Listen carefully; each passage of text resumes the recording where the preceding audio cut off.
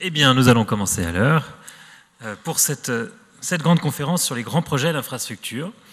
Raphaël Ruffier, je suis le rédacteur en chef euh, du magazine Lyon Capital. J'aurai le plaisir d'être euh, votre porte-voix puisque toutes les questions que je vous invite à poser pendant les, premières interventions par SMS au numéro qui s'affiche sur tous les écrans s'afficheront ici sur, cette petite tablette et c'est moi qui, qui me ferai votre porte-parole. Nous avons six intervenants qui vont euh, chacun faire des présentations euh, relativement courtes, de 5 à 10 minutes, histoire de laisser euh, le plus de temps possible aux questions et, terminer à l'heure, à midi et demi. alors rapidement, pour présenter la, table ronde, Pierre-Philippe Combe, c'est lui qui a organisé cette, cette, conférence, il est enseignant-chercheur au CNRS et à l'ENS de Lyon. Euh, Jean-Claude Praget, qui est directeur, euh, d'études au, Grand Paris, la Société du Grand Paris, qui va présenter euh, ce projet pharaonique. Éric Charéron, qui est directeur prospective chez Keolis, gestionnaire du réseau, bah, notamment des, TCL dans la région. Frédéric Dohet, qui est délégué de RTA, les réseaux électriques. Fouzia Bouzerda, juste à mes côtés, qui est vice-présidente de la métropole au développement économique, puis euh, présidente du Citral, l'organisme de gestion des, transports en commun. Et enfin, euh, Valérie Maza, euh, qui représente la société Limagrin, dont vous êtes directrice, pas qui viendra parler plutôt du, monde, rural. pour présenter la conférence, honneur à celui qui l'a organisée, Pierre-Philippe Combe. L'idée, c'est de s'intéresser aux grands projets d'infrastructure, comment euh, ils affectent les territoires qui vont les accueillir, mais aussi comment ils affectent euh, les territoires euh, qui pas, de manière positive et de manière négative. Merci, bonjour donc. donc voilà, nous avons une session très riche, comme vous avez vu, avec de, nombreux intervenants qui vont pouvoir nous donner des éclairages très différents sur un certain nombre d'exemples concrets de grandes infrastructures qui ont été décidées en France. Et euh, donc mon intervention en fait est un peu une sorte d'introduction générale à cette session qui va donner le point de vue de la, théorie économique, ce que les économistes euh, attendent euh, du point de vue théorique sur l'impact des infrastructures, ces grands projets d'infrastructures et en fait les, disparités spatiales. Alors avant de pouvoir rentrer directement dans cette question, il faut que je, rappelle un peu ce que, dit la théorie économique des raisons pour lesquelles les villes existent car tout le monde a bien en tête, euh, en général, les coûts euh, qu'il y a à concentrer les activités spatiales dans l'espace, hein, les accroissements du prix du foncier, mais aussi la congestion des, réseaux de transport, euh, des biens publics, la pollution, la criminalité. Donc là, en termes de coûts, c'est en général ce qui ressort des discussions informelles sur les effets de la concentration spatiale. Mais en fait, si les activités se concentrent, ce que les économistes soulignent, c'est qu'aussi il y a des gains et que finalement, c'est la différence entre ces gains et ces coûts qui vont faire que euh, les villes vont se développer euh, plus ou moins euh, fortement dans le temps et dans l'espace. Alors, sur la première courbe que j'ai mise sur ce, transparent-là, on va essayer de relier la population, la taille de la ville, on va dire, si c'est une ville, mais ça pourrait être la taille d'une région, avec ces fameux coûts à se localiser dans ce lieu-là. Et ce qui est important de voir, c'est que non seulement, effectivement, ces coûts croissent, mais ils croissent, je vais être un peu technique, ce sera le seul point je suis un peu technique, ils croissent de façon convexe, c'est-à-dire qu'ils croissent de plus en plus. Donc quand une ville commence à se développer, en fait, il y a quand même toujours beaucoup d'espace. Donc par exemple, les coûts du foncier vont augmenter quand la population va augmenter, mais au début pas très fortement. Et c'est quand la ville devient très dense et qu'il n'y a plus beaucoup d'espace libre, que, que qu'il y a une architecture historique qu'on veut préserver, euh, par exemple, que là, les, les, futurs accroissements de la ville vont entraîner des coûts de plus en plus importants et donc une croissance très forte. En ce qui concerne euh, les gains, donc qui sont parfois moins, que les gens ont moins, moins souvent à l'esprit, en fait, ce ne sont pas des idées nouvelles, même si ça a été revisité par l'économie euh, euh, moderne, mathématiques, etc. Ça remonte au moins à Marshall euh, il, y a, plus de deux siècles. Euh, et en fait, il y a trois grandes familles. D'une part, ce que va apporter une ville, c'est un bon appariement entre les employés et les employeurs. C'est-à-dire que dans une grande ville, les employés vont trouver des emplois qui correspondent vraiment à leurs compétences et, vont pouvoir être employés vraiment à la tâche qu'ils savent, qu'ils savent le mieux faire. Et les entreprises, de leur côté, trouvent aussi les employés dont elles ont exactement besoin. Dans des zones moins denses, bah, il va falloir les entreprises vont employer des personnes qui vont être moins compétentes pour la tâche proposée et les employés eux-mêmes, n'étant pas employés pour ce qu'ils savent le mieux faire, vont être moins rémunérés. La deuxième famille, en fait, c'est un peu la même idée, mais entre les entreprises et leurs sous-traitants. Si on fabrique une voiture, on a besoin de verre, on a besoin de, sièges auto, de roues, etc. Donc les, sous-traitants qui vont fournir ce verre, ces, roues, ces, sièges, vont aller se localiser là où effectivement les constructeurs d'automobilistes sont localisés. Et dans les deux cas, ce qu'il faut voir, c'est qu'effectivement les employés vont avoir tendance à, vont gagner à rejoindre les grandes villes, mais euh, ça va engendrer des gains pour les entreprises et plus il y a d'entreprises, plus les employés vont, gagner à rejoindre la ville, ce qui va attirer plus d'entreprises. Donc il y a des effets boule de neige qui, engendrent des gains comme ça. Et la troisième famille de gains euh, à, faire croître la taille de la ville est relative aux innovations et au fait qu'effectivement, depuis, toujours, on a remarqué que les innovations, euh, en fait, les grandes innovations ont lieu dans les grandes villes parce que c'est là que les échanges d'idées, la communication entre les gens les, plus qualifiés et la plus forte, d'où ces innovations se produisent. Donc là aussi, on va voir que ces gains à, accroître la taille d'une ville euh, vont être de plus en vont, les gains croissent avec la taille de la ville, mais cette fois-ci de façon concave, c'est-à-dire que les gains vont être de moins en moins forts. Au début, quand on commence à agglomérer les activités, on gagne beaucoup par ces échanges de connaissances, ces partages, ce bon appariement entre employés et employeurs, mais peu à peu, ces gains, ils vont toujours continuer à croître, hein, mais de façon moins en moins forte. Et du coup, quand on va mettre ces deux courbes l'une sur l'autre pour calculer les gains nets à la concentration spatiale, c'est-à-dire les gains moins les coûts. Donc là, à gauche, en haut, j'ai toujours mes, gains, mais en dessous, c'est moins les coûts, et je fais la somme, ce qui me donne en fait une courbe en cloche, qui me dit quoi? Qui me dit que jusqu'à un certain niveau de la taille de la ville, plus on va croître la taille de la ville, plus la différence gain moins coût va être importante. Mais à partir d'une certaine taille, hein, c'est ma, ma, courbe en pointillé, euh, je ne sais pas si elle apparaît bien, euh, on va être dans la zone où les gains vont continuer à croître, mais de façon moins importante que les coûts qui, eux, croissent très très vite, et du coup, la différence va se mettre à décroître. Et donc ça, ça nous dit que si la taille de la ville est inférieure à gauche de mon sommet, eh la ville est trop petite, on gagnerait en termes de gains moins les coûts à accroître la taille de la ville, mais en revanche, si on est au-delà de ce sommet, eh on est dans une zone où continuer à faire croître la ville engendre des coûts qui sont supérieurs aux gains, et donc euh, les gains nets sont de plus en plus faibles. Et le, problème, comme toujours en économie, j'allais dire, c'est que les décisions individuelles des ménages et des entreprises ne prennent en compte que l'effet de ce choix de localisation d'un ménage sur son propre bien-être, et l'entreprise va choisir la localisation qui maximise son propre profit, sans prendre ce qu'on appelle les externalités, c'est-à-dire les effets induits sur les autres personnes dans la zone.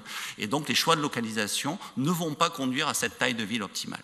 Et donc ce qu'il faut bien voir, c'est que les économistes concluent de manière très nette que les villes n'ont pas la bonne taille. Et attention, les économistes ne concluent pas que les villes sont trop grandes ou trop petites, on n'en sait rien. On sait juste que les villes, a priori, n'ont aucune raison d'être pile sur ce point qui va maximiser la différence entre les courbes. Elles peuvent être trop petites, elles peuvent être trop grandes. Et comme euh, les, décisions individuelles ne conduisent pas à cette taille euh, économique efficace des villes, il va falloir mettre en place des politiques publiques de taxation, par exemple, euh, des politiques de transport, des politiques industrielles, qui vont affecter les choix de localisation individuels et essayer de soit réduire la taille des villes si on pense qu'elles sont trop grandes, soit euh, l'agrandir si on pense qu'elles sont trop petites. Et parmi ces politiques euh, locales, il y a justement les grandes infrastructures, dont j'en viens à notre sujet du jour. Ces grandes infrastructures localisées vont effectivement affecter la taille des villes. Alors comment ça se passe? Effectivement, ce qu'il faut voir, c'est que quand on a un grand projet d'infrastructure qui est localisé dans une ville donnée, prenons Lyon, effectivement, il va y avoir des gains directs pour les euh, ménages et entreprises qui sont localisés à Lyon. Donc des gains de productivité pour les entreprises qui vont accroître leurs profits, mais si les profits des entreprises s'accroissent, ça veut dire que les salaires des employés vont croître, euh, et puis les employés éventuellement vont se servir des infrastructures de transport, donc, donc euh, il y a des gains pour, pour la zone concernée par la grande infrastructure, c'est assez clair. Ces gains dans une zone donnée, ce qu'il faut voir, c'est que les entreprises et les ménages sont mobiles entre les différentes villes ou les différentes régions d'une économie, et donc ça va attirer de nouvelles entreprises, de nouveaux ménages dans cette zone-là. Et comme il y a plus de ménages et plus d'entreprises, ben, ma partie gain à l'agglomération, ben, on va être encore plus haut sur cette partie gain, et il va y avoir des gains supplémentaires à la concentration qui vont se produire. Malheureusement, revers de la médaille, euh, cette offre de travail qui augmente dans la zone concernée va, euh, puisqu'on augmente l'offre de travail, si cette offre de travail augmente plus vite que la demande, les salaires vont être érodé, donc il va y avoir une pression à la baisse des salaires dans la zone à cause de l'afflux de nouveaux employés dans cette zone, et bien sûr la demande de logement augmentant, les coûts fonciers vont euh, augmenter dans cette zone-là. Donc là, on retombe sur ma courbe gain moins coût, hein, euh, les gains nets vont être érodés de, ces effets coûts de la vie en quelque sorte. Et ça, ça va être d'autant plus important, et c'est là que la politique économique va pouvoir intervenir, que l'offre de logement est peu réactive, c'est-à-dire que la ville n'est pas euh, très apte à produire de nouveaux logements pour héberger ces nouvelles populations dans la ville. Donc moins on arrive à produire de logements nouveaux, plus les prix du logement vont augmenter et donc euh, les gains nets vont être plus faibles. Mais ces gains vont être aussi euh, d'autant plus érodés que l'apport de nouvelles personnes est important. Donc là, on est un peu entre, entre, entre, deux, deux, effets qui vont dans, le sens opposé. D'une part, on a envie que beaucoup de personnes arrivent parce qu'on va avoir beaucoup d'effets d'agglomération et de gains d'agglomération, mais plus il y a de personnes arrivent, plus les coûts du foncier vont augmenter aussi, donc les gains nets ne seront pas moins importants. Donc à l'extrême, ce que la théorie économique, c'est que si l'arrivée de nouvelles personnes dans la ville est importante, tous les gains directs peuvent être complètement érodés. Et pour les salariés qui sont, locataires et pas propriétaires de leur logement, en fait, il n'y a pas de gain réel à cette nouvelle infrastructure parce que tous les gains nominaux de salaire vont, passer dans leur coût du logement. En revanche, les salariés propriétaires, eux, gagnent de par leur salaire plus élevé et du fait que leur logement prend de la valeur, et les propriétaires non salariés, eux, ils gagnent du fait que leur logement prend de la valeur. Ça, c'est pour la zone où l'infrastructure euh, a lieu.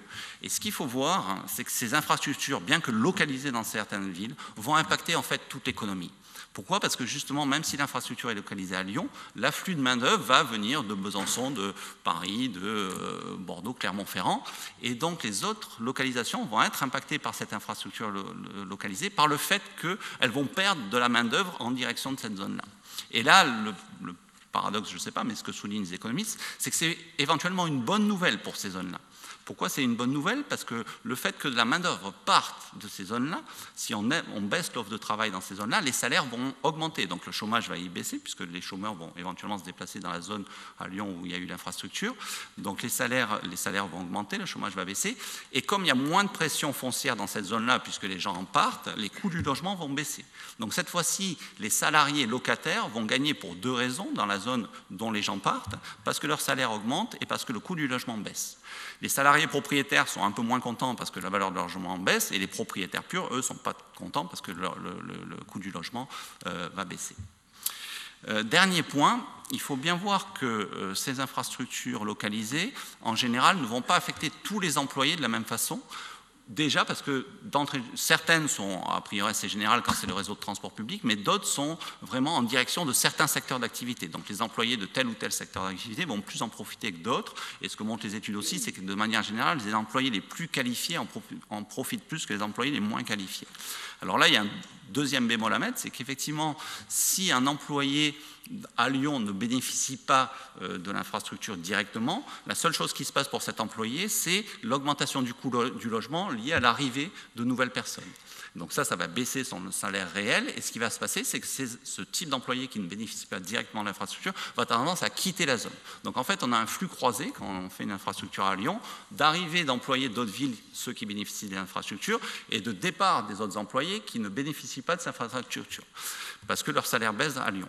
Mais en arrivant dans la deuxième zone, ils augmentent l'offre de travail et donc ils y font baisser les salaires et ils font une pression à la hausse sur les logements et ils y font augmenter le prix du logement. Donc mauvaise nouvelle pour les salariés qui ne bénéficient pas de l'infrastructure dans l'autre zone, euh, les salaires baissent, le coût du logement augmente. Donc, en, conclusion, hein, euh, ce qu'il faut bien voir, c'est que ces infrastructures, bien que localisées, la, théorie économique souligne le fait que euh, ces infrastructures vont engendrer des gains pour le pays dans son ensemble via cette mobilité des travailleurs entre les régions. Donc les biens vont être redistribués entre zones via la mobilité des travailleurs, mais les gains sont inégalement distribués et donc euh, en, plus en faveur des propriétaires euh, fonciers dans la zone où l'infrastructure a lieu et en faveur des travailleurs en général plus qualifiés et moins des travailleurs non qualifiés.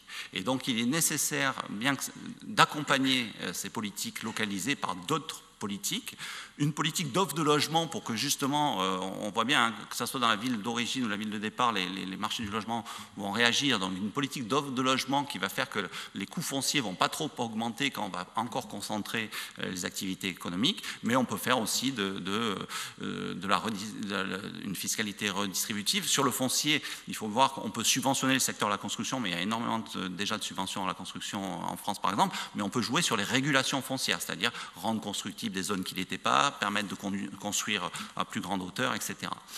Et le dernier point, c'est que euh, ce qui est sûr aussi, c'est qu'il va falloir qu'il y ait une coordination entre les différents grands projets d'infrastructure à, l'échelle d'un pays, parce que si deux zones développent le même projet pour attirer le même type d'acteurs, eh bien sûr les deux choses vont se neutraliser et les gains euh, issus de la mobilité des gens n'auront pas lieu. Donc il est important de diversifier aussi les projets d'infrastructure entre les zones pour que chaque zone puisse gagner d'un type de projet d'infrastructure. Merci, non, ça on est pile poil dans, le timing.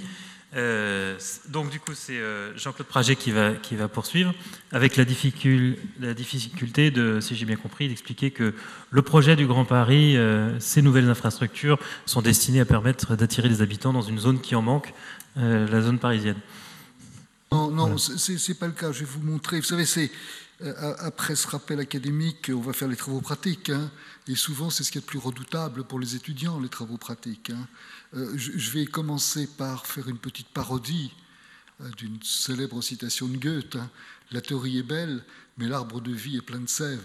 Et je dirais pour nous de complications. Donc je vais essayer de vous faire partager un petit peu toutes ces complications. Alors, je vais montrer le projet, euh, et pendant que je parlerai, comme ça vous aurez une petite visualisation, je ne m'appuie pas sur des slides, je suis quelqu'un de la vieille école qui qui parle. Euh, donc, sur ces questions, bon, ce qui est clair, c'est ce que l'a montré M. Combe, c'est-à-dire que les recherches académiques ont été très nombreuses depuis, on peut dire, 20, 30, 30 ans, et euh, elles permettent d'étayer l'idée assez forte, qui n'était pas une idée bien reconnue avant, que les infrastructures de transport euh, sont, facteurs de croissance et, d'emploi. Hein, alors, sous certaines conditions, hein, c'est ça qu'on va regarder un petit peu plus en détail. Et, le Grand Paris Express, hein, qui est l'objet que vous voyez devant vous, euh, est probablement l'illustration la plus marquante de cette affirmation, mais il y en a bien d'autres. Nous avons notre homologue à Londres, qui est le Crossrail, qui est un, train de 100, métro de 130 km pour sa première étape et la deuxième va être encore une autre étape d'une centaine de kilomètres. Mais on a eu aussi, et là c'est très bien documenté par l'analyse économique, euh, les chemins de fer au XIXe siècle, les réseaux de canaux, les réseaux électriques qui sont aussi porteurs de croissance, et puis aujourd'hui quelque chose dont on parle beaucoup, qui sont les réseaux numériques ultra haut débit, qui sont porteurs de, dynamique économique. Alors revenons à notre métro. Petit rappel sur le projet, hein, très rapide. Euh, c'est un métro automatique. Hein, vous voyez là le tracé de ce métro, 200 hein, km de ligne nouvelle, c'est-à-dire ça double le métro de Paris. Hein. Le métro de Paris aujourd'hui fait 200 km, à l'horizon 2030, il y en aura 400, hein, ça sera doublé. Vous voyez, c'est un, investissement transformationnel qui a, qui a un effet très profond. Et c'est un métro en rocade, contrairement à d'autres métros qui sont faits dans le monde. Et un métro en rocade de cette nature n'a pas les mêmes effets économiques et urbains qu'un métro linéaire. Euh, alors les trains, bon, ils sont des trains de 500 à à 1000 passagers.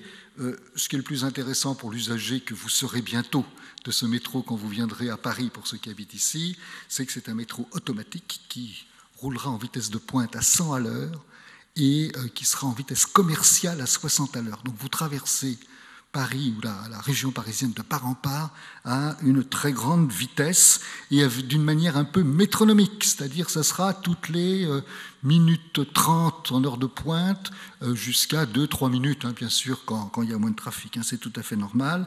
Très forte connectivité avec le reste du réseau. Donc, c'est quelque chose qui va avoir un impact considérable.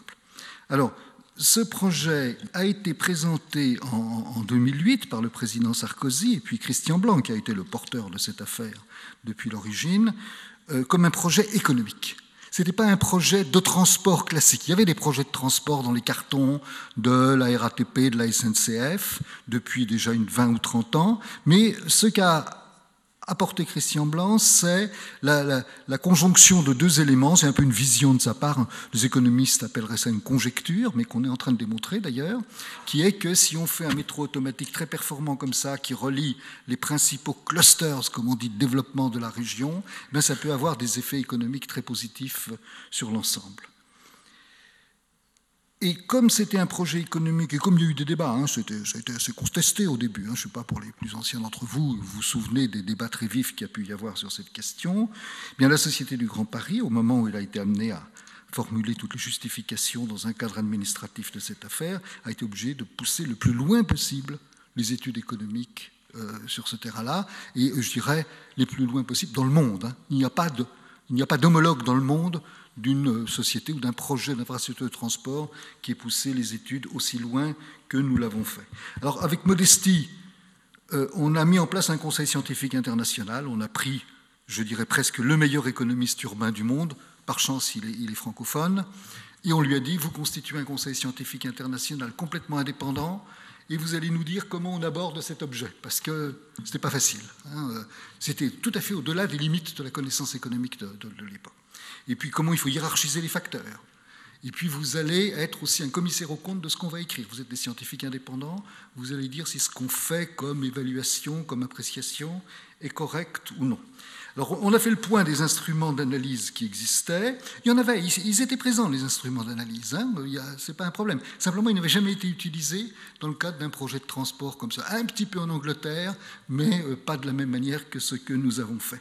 Alors on a lancé un programme de recherche académique Bon, pour vous impressionner un peu, on a, fait, on a mobilisé 10 modèles de simulation, 3 modèles de simulation de trafic, 3 modèles Land Use, Transport Interaction, les fameux, modèles LUTI qui sont des machineries compliquées sur le plan du logiciel, mais qui permettent de prévoir comment les grandes agglomérations se déforment avec l'arrivée d'une infrastructure de transport, deux modèles interrégionaux parce qu'on s'est intéressé aux interactions entre la région parisienne et puis euh, le reste du territoire. Et puis on a fait faire aussi des études économiques, économétriques euh, multiples, spécifiques, hein, sur des points sur lesquels on avait besoin d'un coup de projecteur, comme par exemple une étude qui a été, que M. Combe, hein, avec des collègues, a réalisée pour bien quantifier, mieux quantifier, bien, je ne sais pas si on n'arrivera jamais à bien les quantifier, mais mieux quantifier les effets d'agglomération hein, dont on a parlé. Alors pourquoi autant de modèles? C'est un vieil adage de droit romain, testis unus, testis nullus, c'est-à-dire que tous les modèles sont beaux sur le papier, euh, mais en réalité, euh, ils ne cernent qu'une dimension d'un problème. Ils ont tous leurs faiblesses, on pourra revenir dessus si ça vous intéresse. Et pour nous, il était important de confronter sur la même question des approches multiples pour essayer de cerner ce qui peut être une vérité, entre guillemets, prévisionnelle, un peu comme un hologramme. On a des coups de projecteur, hein, et puis on essaie de cerner la forme. Alors, les conclusions de ces modèles, et ça c'est très important du point de vue de, l'économie, il y a, deux, grands ordres de conclusion. Premièrement, la mise en œuvre du projet, compte tenu de son tracé que vous voyez, qui est en rocade, hein, il va permettre une densification de la croissance de l'emploi de la région. C'est-à-dire que la croissance de l'emploi de la région, au lieu d'être sujette à ce qu'on peut appeler un étalement urbain, elle va avoir tendance plutôt à se concentrer autour de l'anneau. Et avec des avantages considérables parce qu'il euh, y a la mise en jeu des effets d'agglomération dont on a parlé, mais également elle permet un contrôle de la croissance des prix du logement parce que cette densification se fait dans des espaces où il y a beaucoup de disponibilité foncière. Le deuxième effet important, c'est sur la croissance de l'emploi et du PIB. Alors il passe par trois canaux. Là, on a fait faire des recherches et je crois qu'on a vraiment beaucoup innové dans le domaine de la connaissance économique, au moins dans les conclusions. Hein. Euh, c'est qu'il y a ce qu'on peut appeler trois chocs positifs pour la région Île-de-France. Un premier choc est un choc de productivité, c'est-à-dire les effets d'agglomération, c'est porteur de productivité, hein, c'est ce qu'on a vu. Mais il y a un deuxième effet qui un choc de productivité, c'est que comme les coûts du logement, en moyenne, vont avoir une pression à la hausse moins grande, ça introduit une pression de demande salariale moins grande et donc un bénéfice de productivité pour les entreprises. Et ceci, c'est porteur d'emplois de croissance, bien évidemment, ces chocs de productivité. Deuxième choc, un choc de demande sur le marché du travail. Il est bien documenté dans beaucoup d'études, je crois que vous en avez fait vous-même, euh, sur le fait que le déficit d'accessibilité a tendance à créer du chômage. Donc quand on améliore l'accessibilité dans certaines zones, on réduit le chômage parce que, je dirais, il y a une sorte d'inhibition hein, du demandeur de l'actif à se présenter sur le marché du travail quand il doit faire une heure et demie pour aller travailler. Hein. Donc notamment dans la partie est de Paris, ben, il y a un certain nombre de chômeurs qui sont un peu inhibés parce que aller travailler à Versailles, c'est quand même pas, pas sympathique, surtout pour des, salaires qui sont pas. Et là, il y a une différence entre le, niveau social et puis le niveau professionnel. Les cadres et les cadres supérieurs, n'hésitent pas à faire des longs trajets parce que l'optimisation, je dirais, entre domicile et travail, pour eux, ça correspond, dans la plupart des cas, à des salaires beaucoup plus élevés, ce qui n'est pas le cas pour les qualifications inférieures. Donc un choc sur le marché du travail. Et dans la théorie classique, si vous voulez, de l'offre et de la demande de travail, un choc positif en termes euh, d'offre de, travail, ça a un effet sur l'emploi. Sur le salaire, bien sûr, mais ça a un effet sur l'emploi. Et dernier point, un choc d'attractivité. C'est-à-dire qu'effectivement, un meilleur fonctionnement d'une agglomération, eh ben ça rend l'agglomération plus attractive pour les, pour les, investissements internationaux. C'est bien documenté maintenant. Pour le tourisme, là, il n'y a pas beaucoup d'études, mais enfin, on le sent bien. Quoi. Et puis aussi pour la préservation des emplois internationalement mobiles dans la région. Hein. Il y a toute une série d'emplois qui sont en cause hein, dans l'immense mouvement mondial de relocalisation, délocalisation du, travail.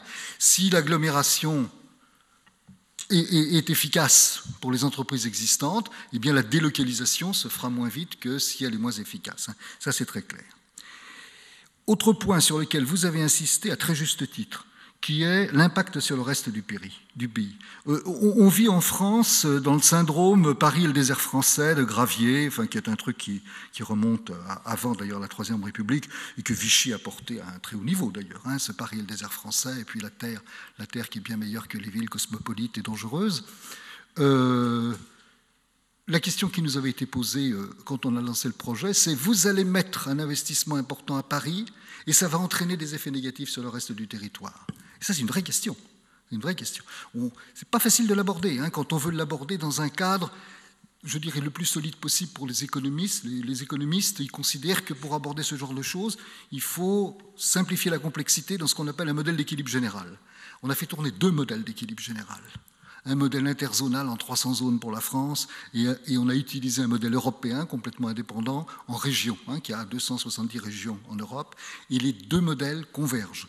Oui, bien évidemment, une infrastructure de transport, ça a un effet positif sur la croissance et l'emploi dans la région, ça ils l'ont confirmé, ça, hein, on n'avait pas besoin d'eux pour ça, mais surtout, ça a un effet positif aussi sur le reste du territoire. Et c'est un effet positif par des effets de diffusion de croissance hein, que, je vous épargne, et par un effet qui est très important, mal connu, qui est l'effet de redistribution. C'est un mécanisme keynésien. Euh, il ne faut pas oublier que la, la, région parisienne redistribue sur le reste du territoire 20% de son PIB. C'est-à-dire que quand on augmente le revenu ou le PIB dans la région Île-de-France, eh bien, ça va se redistribuer à l'extérieur par des mécanismes de redistribution aussi bien publics que privé. Donc il y a un effet sur le reste du territoire, il est moins important que l'effet sur Paris. Hein.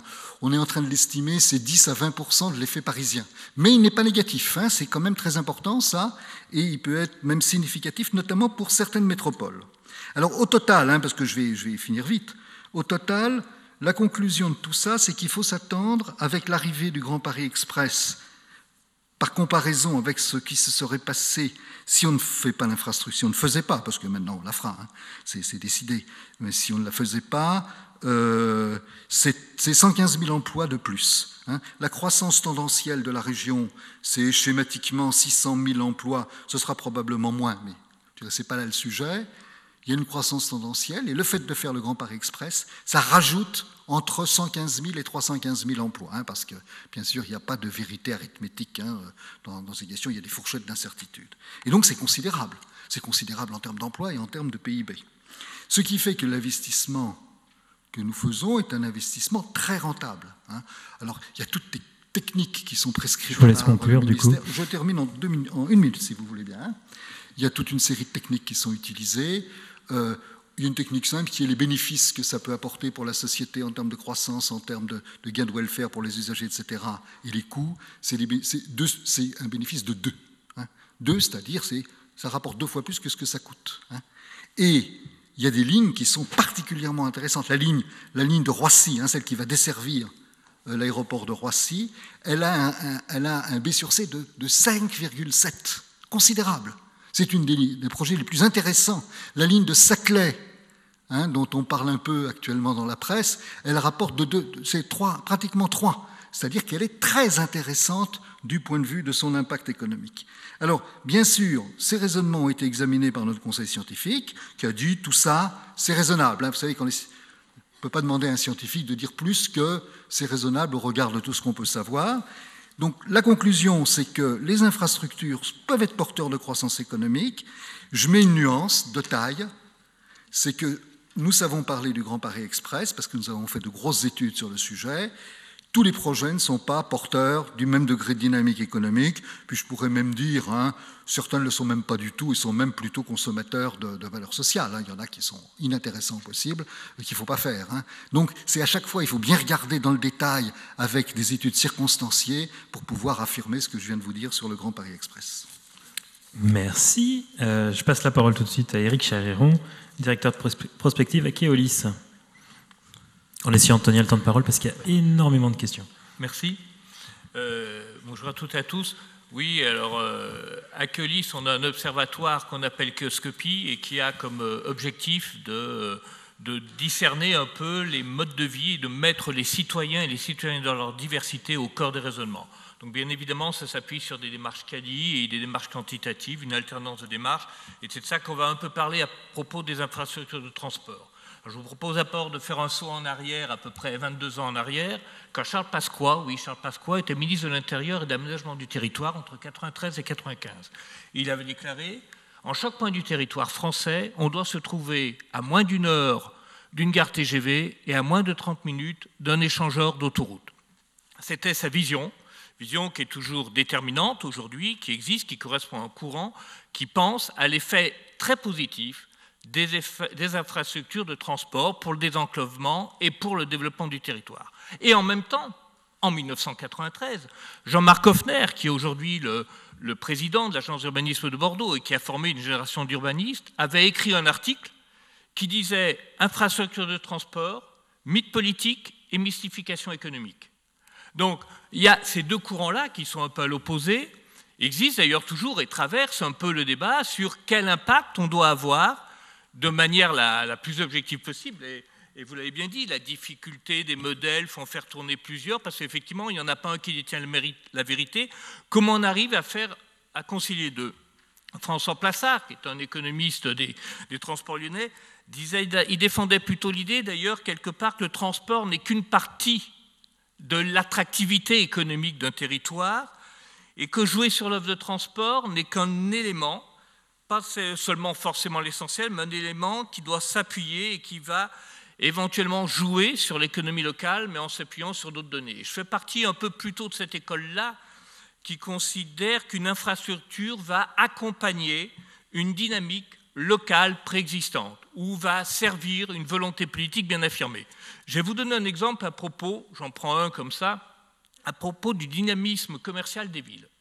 Entre 2001 et 2015, le cabinet euh, Bérénice, qui est spécialisé dans l'attractivité commerciale des territoires, a sorti un baromètre et mesure le taux de vacances commerciales des villes. Il y a 10 villes en France, sur les 190 villes de plus de 25 000 habitants, dont le taux de vacances des commerces est resté en tout de 5% Alors bien sûr, il y a deux métropoles, Lyon et Strasbourg, c'est important de savoir. Ensuite, il y a des villes touristiques, Biarritz, La Rochelle, Saint-Malo, alors on pourrait dire qu'elles sont desservies par le TGV. Grandville, ce n'est pas vraiment desservi par le TGV. Des villes qui ont une notoriété internationale, mais qui ne sont pas au bord de la mer. Beaune, pour son produit local, et Bayeux, par la proximité des plages du débarquement. Puis des villes assez étonnantes, alors euh, qu'on ne mettrait pas dans cette catégorie-là, comme Villefranche ou Saint-Lô. Mais juste pour dire que parmi elles, il y en a qui bénéficient d'infrastructures nationales fortes, TGV à 2 heures de Paris, etc., et d'autres, effectivement, comme Grandville, qui sont à 3h40 en intercité, dont les élus se plaignent tout le temps, pour aller sur leur territoire. Donc, bien évidemment, c'est l'attractivité historique de ce territoire, d'abord, qui constitue une attractivité. Et bien évidemment, si ensuite il y a une dimension infrastructure de transport, ça va venir renforcer ce qui est déjà préexistant. Alors ensuite, si on regarde un peu dans le mode urbain, je dirais que très rapidement, il y a cinq grands effets des infrastructures de transport. Le premier, c'est un gage de métropolisation. Rappelez-vous, pour ceux qui ont mon âge, le 2 mai 78, c'est l'ouverture de la première ligne du métro. Après Paris, il n'y avait pas de métro. C'est tout de suite l'installation dans le clan des grandes métropoles européennes et mondiales, parce que le métro, c'est effectivement un symbole d'appartenance à une élite des villes quelque part, et en particulier pour les investisseurs, et vous l'avez bien dit, effectivement, on joue dans la cour des grands. Alors bien sûr, maintenant, le métro fait partie du patrimoine lyonnais, et puis ensuite les, tramways et ses futurs prolongements, mais il faut savoir que c'était effectivement, alors comme à Marseille hein, ou comme à Lille à l'époque, puis ensuite à Rennes au début des années 2000, c'est un élément fondamental. Deuxièmement, et là, ça se base sur des études sociologiques, c'est aussi dans un certain nombre de cas un synonyme les infrastructures, c'est un synonyme de fierté des citoyens, notamment quand c'est associé à des opérations de qualification urbaine. Alors au niveau d'un territoire, on n'est pas en région Rhône-Alpes, Auvergne-Rhône-Alpes, on est dans l'Aquitaine, c'est Bordeaux. Dire que globalement, dans les études qualitatives que l'on a faites, les citoyens, si je mets ce que nous ont dit les sociologues entre guillemets, c'est mes vignobles, mes châteaux, ma requalification de la ville-centre et mon tramway. Donc en fait, le tramway concourt à un ensemble qui fait qu'effectivement, tout mon territoire, j'en suis fier, et la population peut devenir ambassadeur de ce territoire. Sur une parité du territoire de la métropole lyonnaise, c'est le prolongement de Laurent Bonneval à soi, d'anciennes friches industrielles auparavant, sur une commune déshéritée, Vaux-en-Velin, enfin perçue comme telle. Et c'est aujourd'hui un quartier dynamique sur lequel on attire des sièges, est un élément de fierté d'une commune qui avait jusqu'à présent une image un peu moins bonne que le reste de l'agglomération. Le troisièmement, c'est quand même une garantie, une infrastructure de transport, on l'oublie trop souvent, c'est une garantie de stabilité pour les auto-entrepreneurs, pour les artisans, pour les commerçants. Parce qu'un plan de circulation, un plan de stationnement, des arrêts de bus, ça va, ça vient. Hein, la rue, elle est dans un sens, elle est dans l'autre sens, le plan de stationnement, il change. Arrêt de bus, il y a un projet qui vient modifier une, une station de tramway. Depuis 1985, réouverture de la première ligne de tramway en France à Nantes, il n'y a pas eu une suppression de station de tramway ou de station de métro. Donc en fait, c'est la garantie que quand on, s'installe à proximité, on a bien effectivement de la visibilité pour son activité sur du moyen et du long terme, et ça c'est un élément extrêmement important. Alors on pourrait rajouter à Lyon, qui est une caractéristique en France, son réseau de trolleybus. C'est-à-dire que les lignes, notamment C1 et C2, qui sont des trolleybus à haut niveau de service, un peu un cas unique en France, permettent elles aussi de rentrer dans ces, infrastructures qui permettent de, de légitimer excusez-moi, une vision un peu à, long terme. C'est aussi une lisibilité, une simplicité, une attractivité. Dire que, euh, vous l'avez dit tout à l'heure, Lyon est une ville, alors d'abord, dans laquelle la métropole de Lyon, il y a 1 300 000 habitants, Parmi eux, il y a bien évidemment des gens qui sont occasionnels du transport public ou tout simplement occasionnels du territoire. Je ne suis jamais allé à Rieux voir un spectacle de danse, je ne suis jamais allé à, Saint-Priest pour telle et telle raison. Et donc, les tramways, les l'INSEE ou le métro, c'est quelque chose qui rassure, c'est quelque chose qui offre de la visibilité, de la lisibilité à une partie des citoyens qui sont ce qu'on appelle des illettrés du paysage urbain. Le paysage urbain, vous savez, il évolue sans cesse. Si vous n'êtes jamais passé au Téclide ou même à Confluence depuis, euh, depuis 10, 15, 20 ans, c'est des territoires en profonde mutation et c'est dur d'avoir les clés pour à peu près un citoyen sur deux de comprendre comment ça fonctionne. Et ces infrastructures de transport, elles permettent d'aider à la lecture de ces territoires excessivement, excessivement mouvants. Je vous laisse conclure. Euh, Déjà 7 minutes 50. Mais je vais essayer. je vais garder, un petit peu de temps pour les questions parce qu'il y en a vraiment beaucoup. D'accord, je me suis calé sur les autres intervenants, mais bon, j'ai essayé de faire plus court. Euh, donc le deuxième point, c'est bien évidemment le rayonnement d'une agglomération. C'est-à-dire qu'à leur rayonnement, il y a bien évidemment les touristes. Alors les touristes qui viennent pour visiter la ville, on peut penser que bien évidemment le classement patrimoine mondial de l'UNESCO de Lyon comme de Bordeaux est sans doute plus important que l'infrastructure de transport. En revanche, en revanche, les visiteurs de proximité, ce qu'on appelle les excursionnistes, c'est-à-dire ceux qui viennent pour, pour, pour, la métropole de Lyon, par son activité, son attractivité commerciale, la beauté de ses sites, le parc de la Tête d'Or comme les, les quais du Rhône ou pour son attractivité médicale ou pour ses amis, ça c'est excessivement important. Et bien évidemment, une infrastructure de transport, là aussi ça permet d'attirer plus de gens qui viennent de l'extérieur, puisque ça permet de donner les clés pour rentrer dans une ville quand on vient d'un territoire à dominante rurale ou de petite ville et qu'on n'est pas toujours à l'aise pour circuler quelquefois dans les grandes métropoles. Alors bien sûr, vous allez me dire, est-ce que ça se fait au détriment de moyennes villes? Je ne sais pas dire. Stéphane Ravalet, qui est un chercheur à l'école polytechnique fédérale de Lausanne, le dit bien. Il dit en fait les infrastructures de transport, ça dilate les aires de chalandise. C'est-à-dire que s'il y a un TER performant, associé ensuite à une infrastructure de transport dans une ville qui est très attractive, ben, bien évidemment, ça va permettre à des gens d'aller vers les territoires qui sont les plus beaux, les plus ensoleillés virtuellement, où là, le niveau d'équipement culturel, sportif, commercial est le plus attractif. Alors j'ai dit climatique, ça peut vous faire surprendre. On a fait une étude auprès des habitants d'Annonay pour savoir où ils venaient dans les grandes villes. Alors je suis désolé de le dire, Saint-Étienne a quand même moins la cote que Lyon. On va dire que la métropole de Lyon, c'est en fait, c'est l'image, hein. mais Lyon est très fort. Mais en revanche, on s'est rendu compte que Valence, par son côté ville plus moyenne, ville plus proche du midi et méridionale, avait une attractivité qui était relativement forte. Donc bien évidemment, voilà, donc c'est aussi une notion à prendre en compte. Et le dernier point que je voulais dire, et je conclue là-dessus, c'est que bien évidemment, ça offre une infrastructure de transport métro, tramway, ligne C, ou comme dans le cadre, c'est-à-dire qui ont été mises en place dans le cadre du réseau Atoubus en 2011 avec 24 lignes fortes, ça permet d'offrir de manière intuitive une offre qui garantit l'attractivité du service pour les gens les plus modestes en particulier. C'est-à-dire que je sais intuitivement, en habitant à proximité du métro, d'une ligne de station, de tramway ou de la ligne C1, C2, C3, que je vais avoir une offre, même si je dois sortir le soir du travail à 22 heures, même si je dois travailler comme un Français sur deux de temps en temps le samedi, même si je dois travailler dimanche, je sais que j'ai une offre de service. Alors bien sûr, après le problème, c'est que d'un côté, il y a l'augmentation du prix du foncier autour des infrastructures de transport qui risque d'en éloigner les gens qui n'ont pas de voiture. Et dans les gens qui n'ont pas de voiture, ils se regroupent en deux catégories. Il y a bien évidemment les gens qui habitent dans le centre-ville et culturellement, notamment parmi les plus jeunes, on peut s'en passer.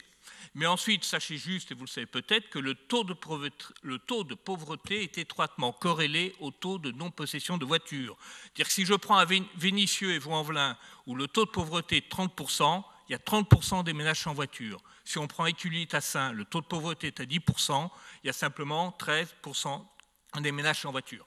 Donc en fait, il y a vraiment un problème de comment on fait bénéficier des gens qui ne peuvent pas forcément habiter à proximité de pouvoir. Et je voudrais juste dire ça, quand la ligne D a été inaugurée jusqu'à Gare-de-Vèze, cette infrastructure qui est unique en France, qu'on oublie même dans la métropole de Lyon, parce qu'elle est ancrée dans le paysage, qui a été de créer ce viaduc qui franchissait le faisceau des voies ferrées à Gare-de-Vèze et de construire un tunnel hélicoïdal pour aller à la Duchère, a permis de raccrocher ce quartier-là en moins de six minutes à un terminal de métro à Gare de Vèze, alors qu'avant, c'était le tronçon le plus saturé de France, sur lequel la vitesse commerciale des bus dans les années 70-80 était de 4 km/h.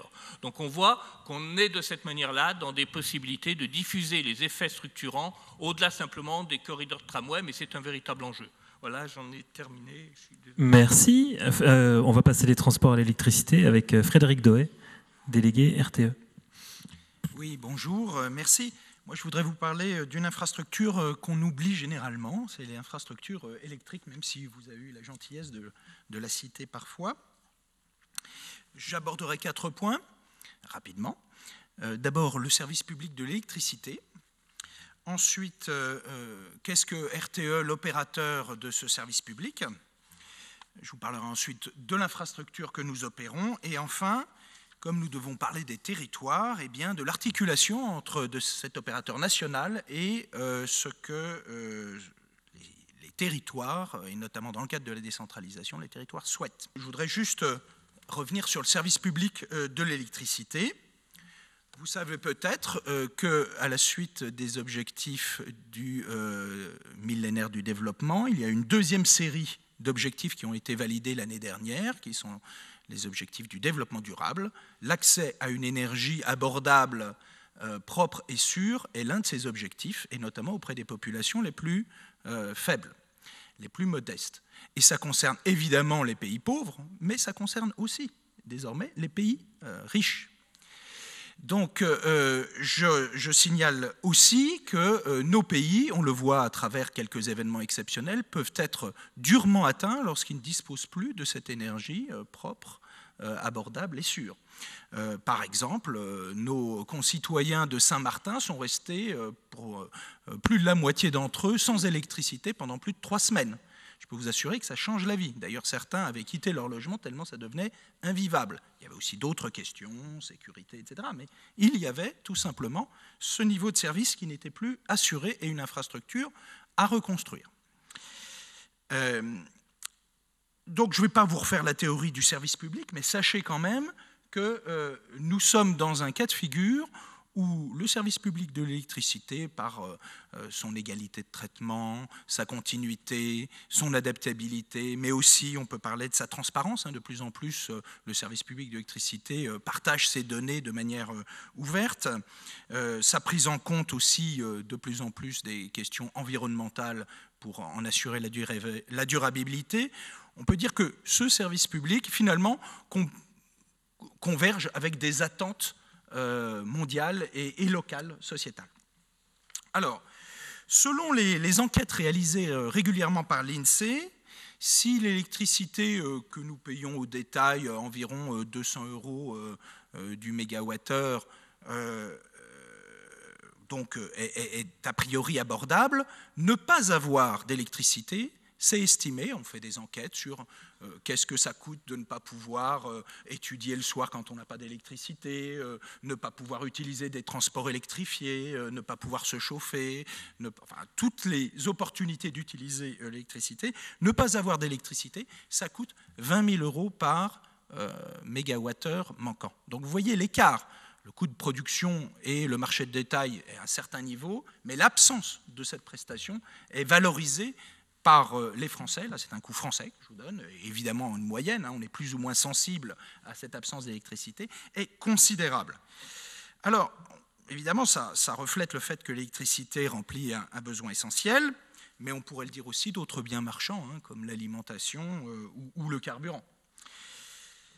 Euh, ce service public veille au juste dimensionnement du réseau et de la production pour assurer l'alimentation électrique euh, de euh, tous les citoyens français, tous les habitants. Et il permet à chaque moment euh, et partout sur le territoire l'alimentation en électricité. Il assure aussi la solidarité entre les lieux de production d'électricité, les lieux de consommation, les choses évoluent assez rapidement avec la transition énergétique, mais il y aura toujours des lieux et des moments où un pays, une région une commune seront excédentaires en énergie et d'autres moments où ils seront déficitaires. Il y a donc une forte valeur assurantielle euh, au réseau qui euh, permet d'assurer ce, service public d'électricité.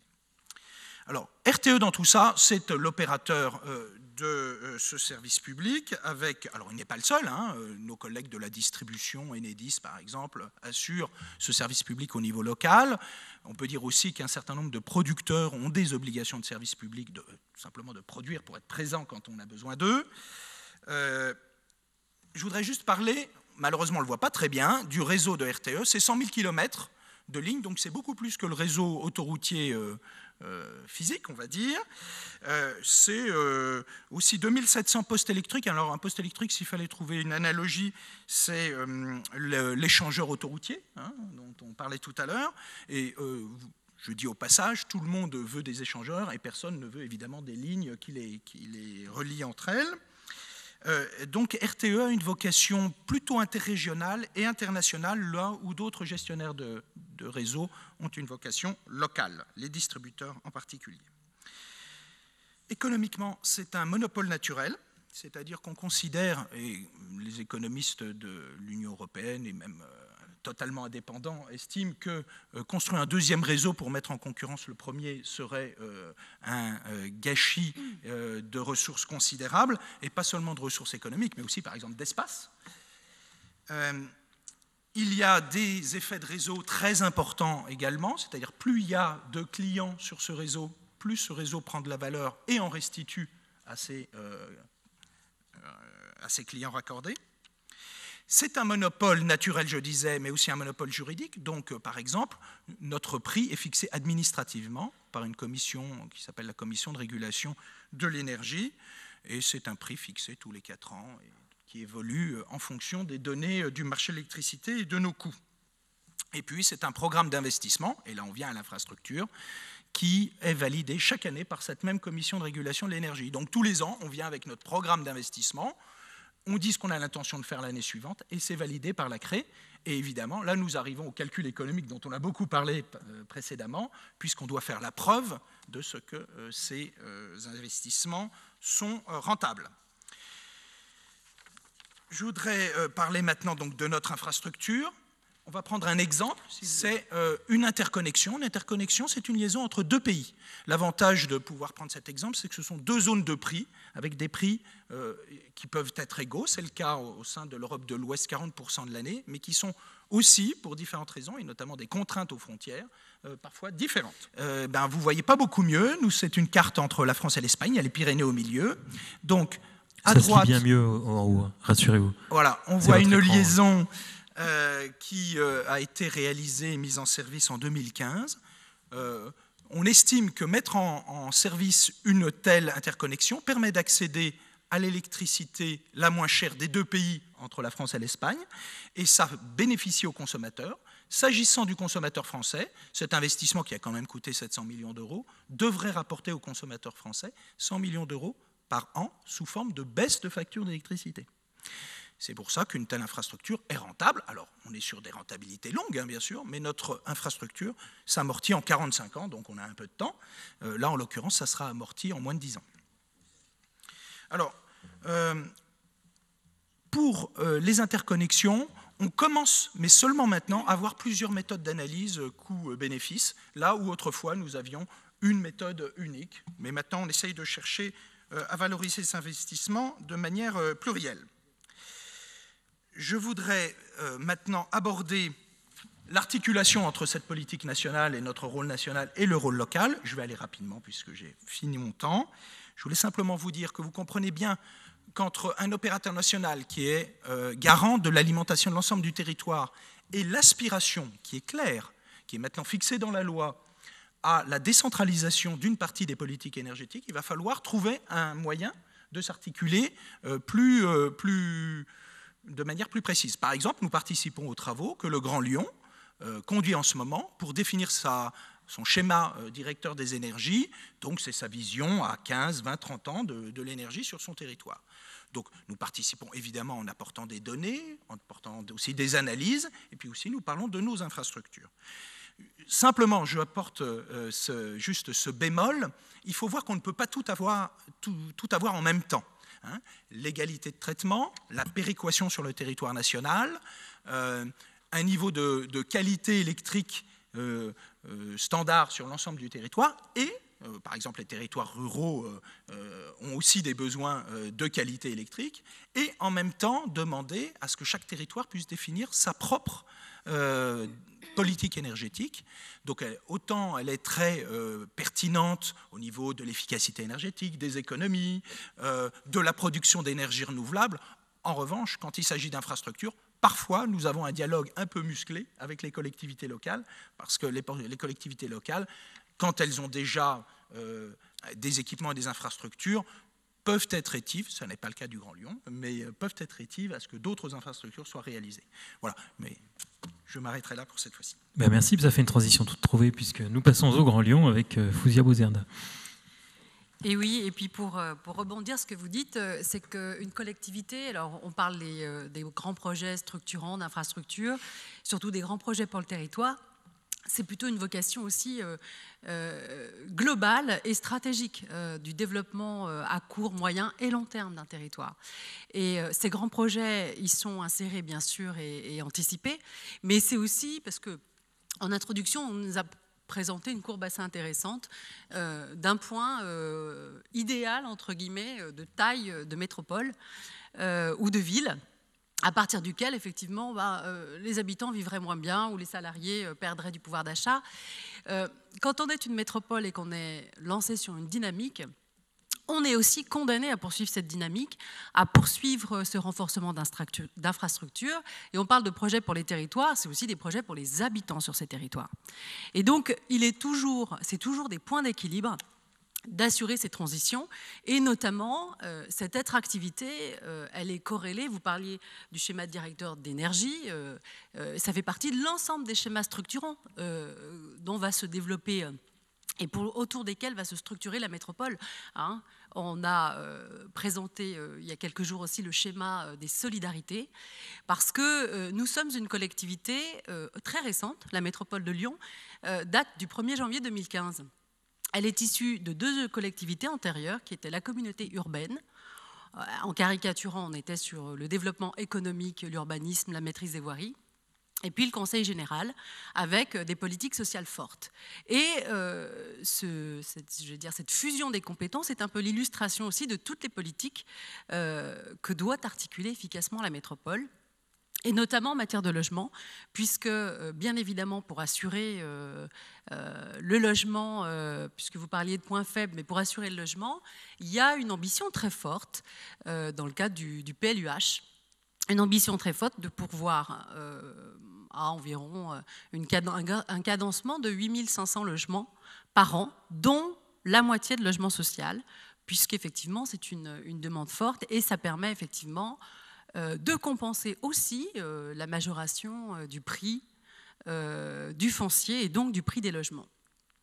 Nous, dans le cadre de la politique et des infrastructures, on a beaucoup parlé de transport, et ce n'est pas la présidente du Citral que je suis euh, qui, gommerait euh, l'importance et l'aspect stratégique de ces déplacements et de la mobilité, mais on a euh, un spectre très large de ces grands projets et de ces infrastructures. Bien évidemment, des grands projets urbains, vous voyez, on est aujourd'hui euh, au siège du Conseil régional et on est à la confluence.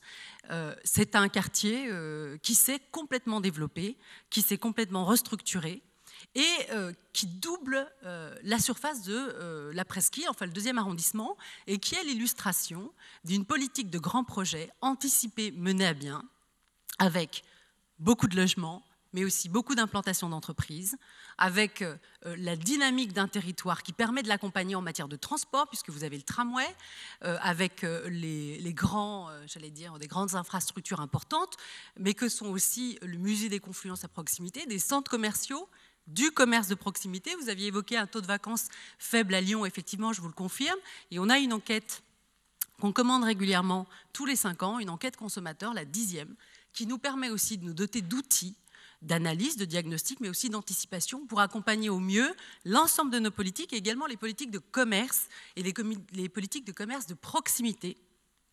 Puisque rien ne se fait, euh, j'allais dire de manière euh, spontanée, ou ça suppose aussi derrière des politiques fortes, des moyens mis à disposition, notamment par les collectivités de nous sommes, pour dynamiser un certain nombre de secteurs.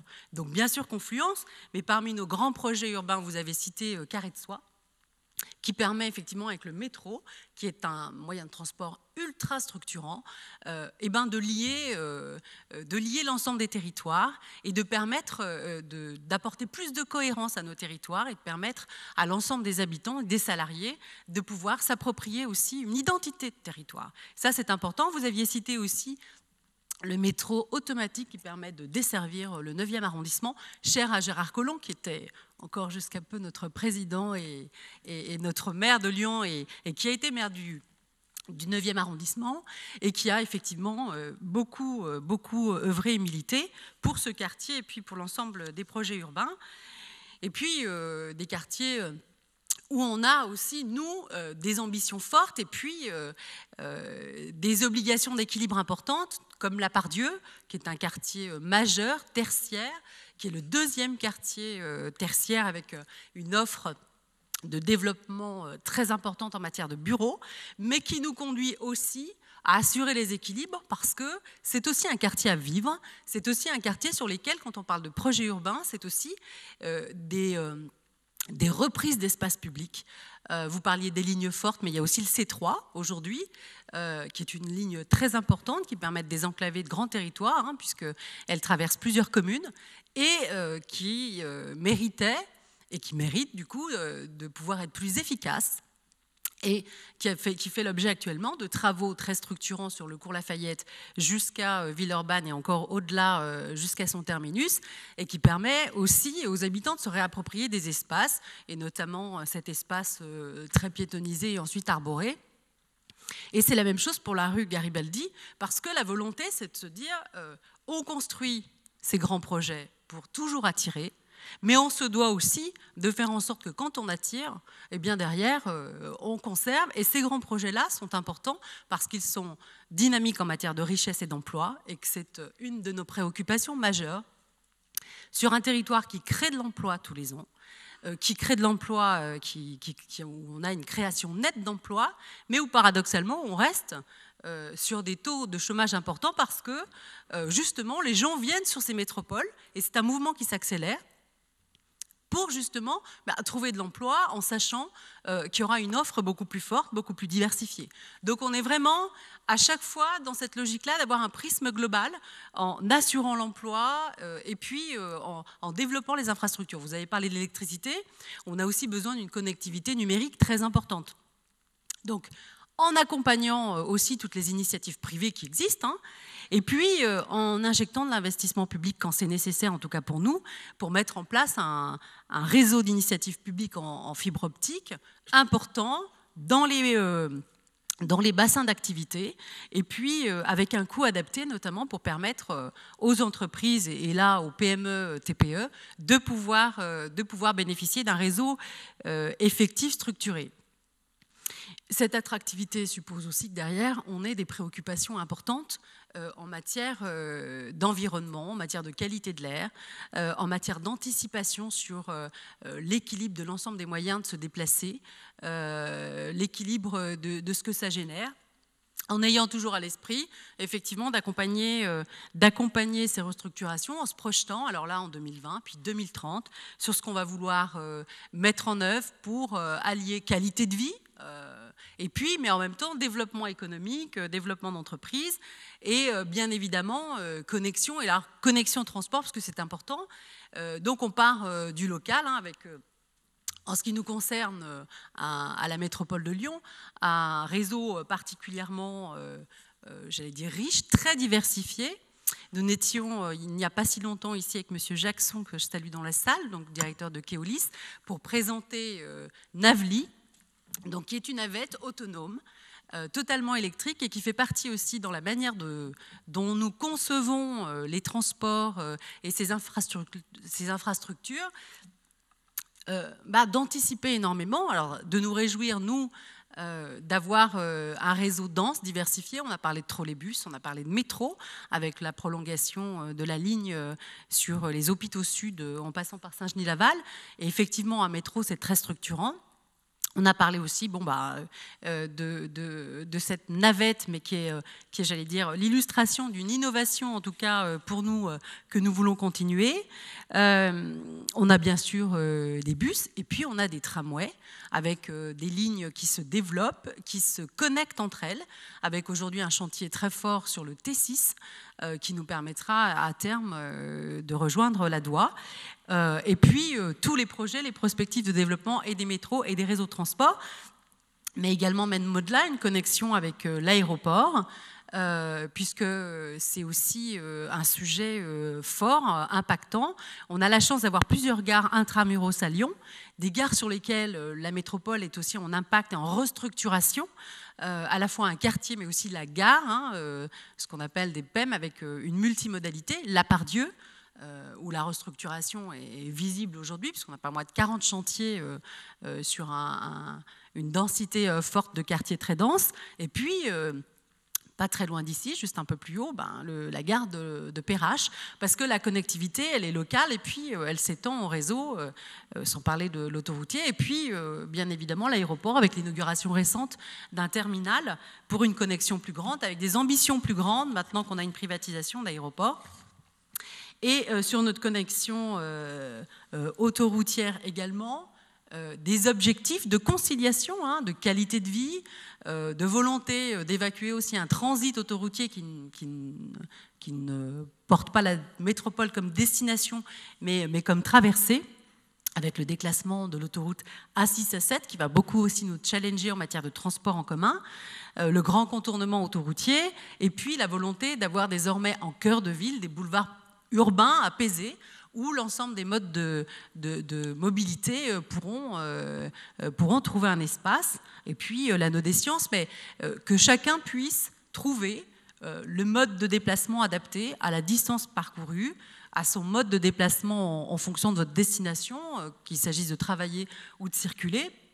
Et donc, on a une offre effectivement complète.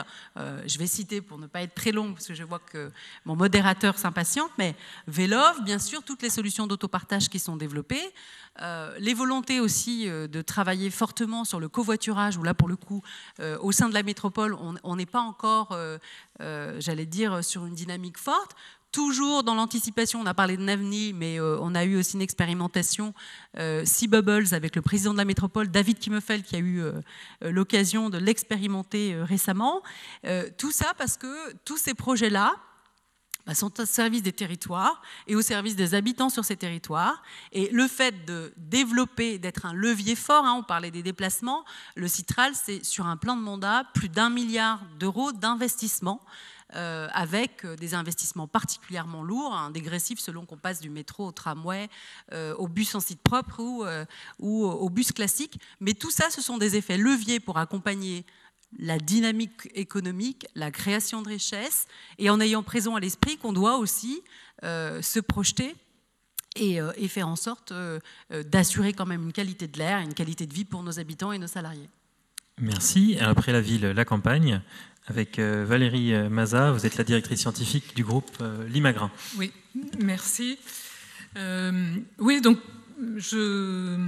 quelques mots pour me, présenter. Moi, je suis physicienne. Avant de travailler chez Limagrin, je travaillais pour le ministère de la Recherche. Et, et en fait, j'ai eu le coup de foudre pour cette entreprise, pour cette coopérative agricole et ce qui m'a plu chez Limagrin, ce sont deux choses. Une ouverture sur l'international, sur, euh, le monde, et aussi euh, une conscience des responsabilités de, cette entreprise vis-à-vis de son territoire. Euh, et depuis dix ans que je, suis chez Limagrin, je, je suis moi-même devenue ambassadrice de, de Limagrin dans le cadre de différents projets qui sont menés au service du territoire. Alors de quel territoire il s'agit? Il s'agit euh, vous l'avez dit, d'un territoire euh, rural, donc euh, faiblement peuplé, qui est situé dans un rayon de 50 km au nord et au sud de Clermont-Ferrand, donc pas très loin de, Lyon. un territoire qui, est, et qui reste un peu enclavé, puisqu'aujourd'hui, il est plus rapide d'aller de Paris à Marseille que d'aller de Paris à Clermont-Ferrand. Et donc vous imaginez que lorsque l'Imagrin a été fondé, il y a 50 ans, la situation était euh, encore plus, plus critique.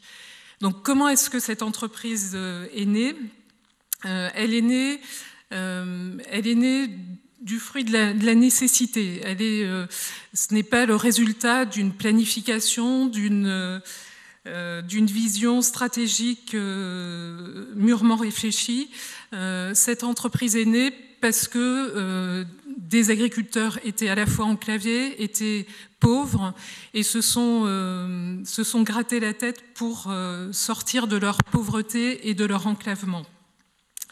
Donc aujourd'hui, l'Imagrin, c'est une entreprise qui est quatrième mondiale dans son, dans son secteur, qui est le secteur des semences, et qui regroupe en, Auvergne-Rhône-Alpes plus de 2100 collaborateurs, euh, donc à la fois en, Auvergne et euh, en, ex-Auvergne et en ex-Rhône-Alpes. Donc je pense que l'exemple de l'Imagrin illustre que sans être dans, la, cible principale de grands projets de développement économique, on peut, on peut se développer, on peut créer de la richesse, on peut créer de l'emploi. Euh, tout en étant à, l'écart de, très grands projets, que ce soit des, projets de transport ou des grands projets de développement économique. Et puis, je voulais aussi, euh, au travers de, ce témoignage, euh, dire qu'un territoire rural n'est pas condamné à être l'arrière-pays d'une métropole. Et, peut-être nuancer les, théories du, ruissellement ou de la, redistribution, euh, puisque aujourd'hui, ce que, je constate dans, mon quotidien, c'est que le, territoire rural et contribue lui-même au développement économique et, un partenaire des collectivités, que ce soit euh, euh, la métropole de, Clermont ou que ce soit euh, le Conseil régional d'Auvergne-Rhône-Alpes. Donc nous sommes nous-mêmes, en tant que territoire rural, un acteur de, la dynamique, un acteur du développement économique. Peut-être deux exemples pour l'illustrer. Euh, nous nous sommes, euh, en tant qu'entreprise, fortement impliqués dans, le projet euh, CAP 2025, qui est un projet porté par l'université Clermont-Auvergne, donc dans le cadre de l'appel à projet ICIT, destiné à créer des sites universitaires d'excellence. Donc nous nous sommes investis, nous sommes euh, avec d'autres partenaires et notamment une entreprise comme Michelin, euh, partenaire de ce projet. Euh, et, nous sommes acteurs de, de, ce projet. et je voulais également témoigner d'un autre projet que je qualifierais de grand projet rural. Euh, projet que nous portons euh, en tant que l'IMAGRIN, qui est le laboratoire d'innovation territoriale. Euh, qu'est-ce que c'est que ce projet? C'est un projet de Living Lab, donc laboratoire vivant, dédié à l'agriculture. Et en général, les, Living Labs, ça correspond à, ça peut correspondre à un quartier, ça peut correspondre à un hôpital, ça peut correspondre à à certaines petites villes. Là, l'enjeu, c'est de faire d'un territoire de 200 000 hectares un laboratoire vivant euh, dont la mission, c'est d'inventer les modèles agricoles de demain et d'inventer euh, des nouveaux systèmes de production agricole, des nouvelles filières agricoles et de le faire de façon complètement inclusive en associant bien sûr les agriculteurs, bien sûr euh, les acteurs de la recherche, du développement, des entreprises, bien sûr nos partenaires euh, collectivités territoriales et bien sûr et surtout les citoyens euh, pour que le, développement de l'agriculture se fasse de façon harmonieuse pour et avec les, citoyens. Voilà, donc c'est à sa façon un grand projet, un grand projet rural. Euh, donc que nous avons présenté dans le cadre euh, de l'appel à projet Territoire d'innovation de, grande ambition. Alors, qu'est-ce que, quelles, quelle, euh, leçons pouvons-nous tirer de, cette expérience? Je pense que ce qui permet à un territoire d'être dynamique et de, se mobiliser, euh, c'est deux, choses, deux, facteurs euh, que je me permets de, partager avec vous. C'est d'abord d'être conscient de ses faiblesses et de ne pas les, nier. Voilà, il, y a, des données géographiques, des, données climatiques euh, qui sont ce qu'elles sont euh, et, euh, dont il faut avoir conscience sans se résigner à, à les accepter passivement. Donc conscience de ces de ses limites, conscience aussi de ses atouts, et puis euh, avoir euh, de l'ouverture, de l'ouverture sur ce qui peut se faire euh, dans d'autres territoires, qui peut se faire dans d'autres domaines, également utiliser, je pense qu'il y a une sorte de diaspora qui, revient, qui peut revenir au pays et qui, a aussi un, rôle à jouer et qui, peut contribuer également au développement de ces territoires. Euh, et puis pour terminer, quel, euh, alors j'ai pas parlé de grands projets euh, dans le même esprit de ceux qui ont été présentés précédemment. Je pense que notamment dans notre histoire, il y a un grand projet qui, a joué un rôle capital. Ça a été la décision de l'État d'installer un centre INRA à Clermont-Ferrand. et, bon, je pense que quand, cette décision a été prise, euh, il ne s'agissait pas de créer euh, près de Clermont-Ferrand le quatrième semencier mondial. Il n'y avait pas du tout cette intention. Mais néanmoins, euh, nous n'aurions pas réussi notre développement sans la présence de l'INRA tout près de chez nous. Eh bien, merci. vous pouvez applaudir les six intervenants. Je, note d'ailleurs que vous avez vous avez des fans, puisque la dernière question, c'est merci à Valérie de nous sortir de l'ornière théorique des années Pasqua. Il y a beaucoup de questions euh, sur, euh, sur ce modèle des grands projets. Euh, est-ce qu'il est, qu'il est encore d'actualité? J'ai une question par exemple sur l'énergie. Faut-il forcément des grands projets en matière d'énergie et pas plutôt la possibilité d'avoir plein de petits projets en matière renouvelable, autoconsommation d'énergie, centrale individuelle, décentralisation énergétique J'ai aussi les mêmes questions j'en regroupe un certain nombre là, qui, sont arrivés au début sur, euh, sur les transports. Est-ce que les modèles de grands projets que vous avez euh, présentés sont encore valables avec la révolution numérique, avec le développement du télétravail, des auto-entrepreneurs, de la volonté aussi de rester au pays? Voilà, beaucoup de questions. Voilà. Est-ce que le modèle des grands projets est encore d'actualité? On commence par l'électricité.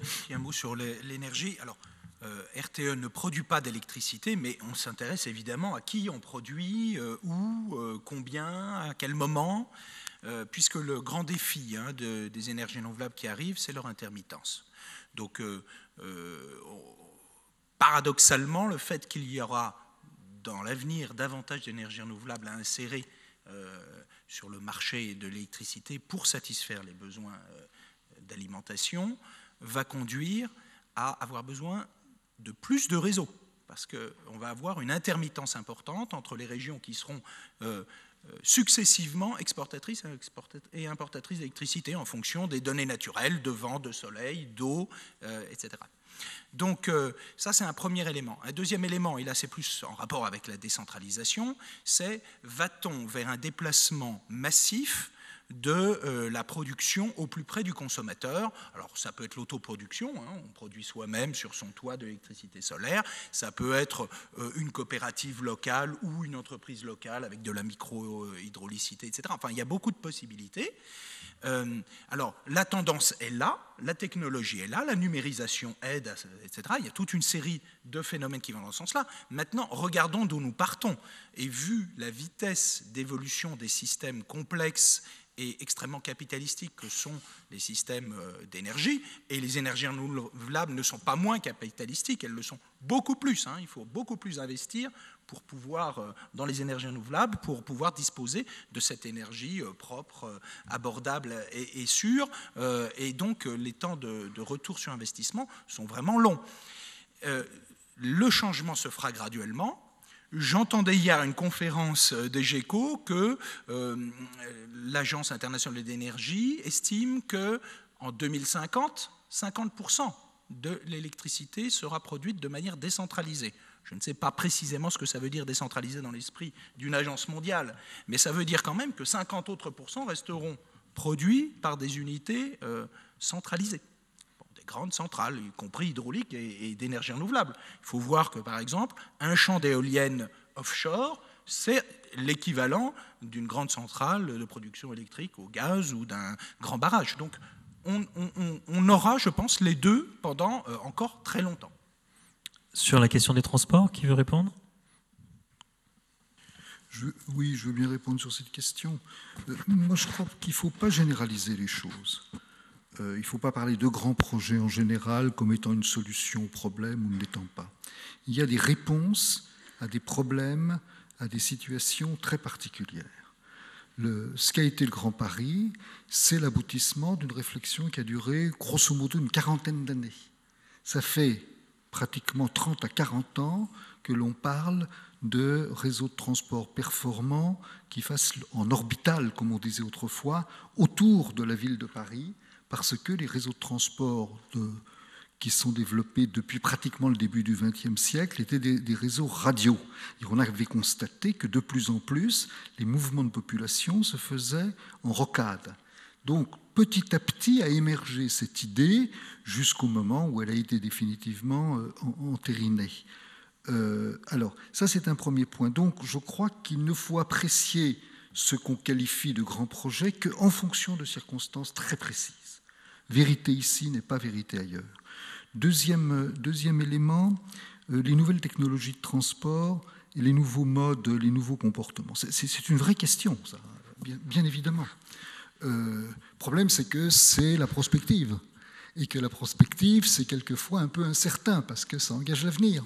Donc on ne sait pas aujourd'hui réellement, d'une manière très solide, ce que seront les transports, les comportements des usagers à l'horizon 2030. Il y a beaucoup de fantasmes qui courent. Hein. La voiture autonome, par exemple, c'est un fantasme. On ne sait même pas si les voitures autonomes seront autorisées à circuler dans les grandes zones urbaines euh, à l'horizon 2030 ou 2040, parce que ça suppose des risques considérables pour les populations. Hein. On a bien vu, il y a des essais qui ont été faits, euh, en Australie notamment, qui montrent que ça peut entraîner des problèmes. Donc oui, il y aura une évolution technologique. Ma voisine de glisse, il y en a une qui a été lancée hier par Navia. Oui, mais ce n'est pas le fait qu'elle soit lancée, parce que bien sûr, hein, l'hyperloop s'est lancé aussi. Il y a des gens qui vous disent que l'hyperloop c'est pour 2020. Euh, J'attends de voir, hein, parce que entre ce qui est lancé à force publicité par les entreprises qui sont intéressées, et puis la manière dont après ça pénètre le marché, c'est, ça rentre dans les mœurs, c'est autorisé par les pouvoirs publics, c'est compliqué. Alors on a fait ces études, bien évidemment, et les conclusions des études qu'on a faites montrent que même si ça se développe fortement, par exemple les, véhicules autonomes, il y a des robots taxis aussi, il y a toutes les formes de modalités nouvelles, ça peut en fait ne contribuer qu'à renforcer, qu'à rabattre un maximum d'usagers sur les lignes les plus performantes. Hein. Et ce qui peut se produire, c'est qu'effectivement, les lignes les plus performantes de, transport euh, qui permettent de traverser Paris de part en part en, en, trois quarts, même pas en 25 minutes, eh bien, elles vont attirer les Et souvenez-vous du débat qui a eu lieu sur la ligne 14. Hein. sur la ligne 14, au moment où on a fait la ligne 14, on a eu le même type de débat. Vous voulez faire une ligne automatique de métro, hein, c'était la RATP qui était en cause à l'époque, euh, ça, coûte très cher, ça ne rapportera rien, etc. Moralité, allez vous promener aujourd'hui entre Châtelet et Gare du Lyon sur la ligne 14, vous verrez qu'elle est surutilisée par les, par euh, les usagers, parce que les usagers aiment bien une ligne automatique qui ne s'arrête pratiquement, enfin oui, qui s'arrête aux stations avec une très grande régularité. Donc, ceci, c'est très difficile à apprécier. Et ce que l'on sait, par contre, par ailleurs, c'est qu'il ne faut pas se tromper par défaut dans ces infrastructures. La France s'est trompée par défaut dans les grandes infrastructures de transport depuis pratiquement la Deuxième Guerre mondiale. On avait sous-investi dans les grandes infrastructures de transport en commun. Et on est en train de le payer encore, et toutes les villes sont en train de courir après pour pouvoir rattraper tout cela. Il euh, faut que vous sachiez que, que les prévisions de trafic, de transport en commun, prévisions globales sur lesquelles on a dimensionné notre ouvrage, ces prévisions à 2030 sont déjà dépassées en 2012. C'est-à-dire qu'en fait, l'utilisation des transports en commun est tellement rapide actuellement qu'effectivement, euh, ça a tendance à faire euh, craquer les prévisions que l'on a pu faire à l'époque. Donc, il faut tenir compte de tout ça, et au moment où on prend une décision qui est lourde de conséquences, il ne faut pas pêcher par excès, ça c'est certain, mais il ne faut pas pêcher par défaut non plus, parce qu'après, ce n'est pas rattrapable. Foudia Bouzerna, vous courez derrière le retard d'infrastructure non, mais je pense que c'est important d'anticiper parce qu'effectivement, euh, parfois, bah, nos prévisions euh, sont dépassées. Ensuite, euh, je, pense justement qu'on ne substitue pas un mode de transport à un autre. On a des modes de transport en fonction du nombre de personnes à transporter ou de la rapidité, mais on se doit aussi d'assurer une vraie diversité pour que chacun y trouve, y trouve son mode de déplacement et aller vers le véhicule autonome.